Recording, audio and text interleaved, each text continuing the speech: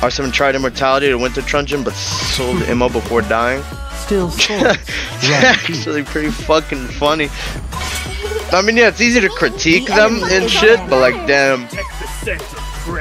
It's easy to critique when you're watching. Keep that in mind. It's really easy to critique people when you're fucking watching. $4.99 through Super Chat.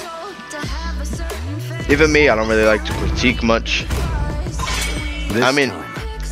That Albert fucking. Anyone else see Albert's winter truncheon though?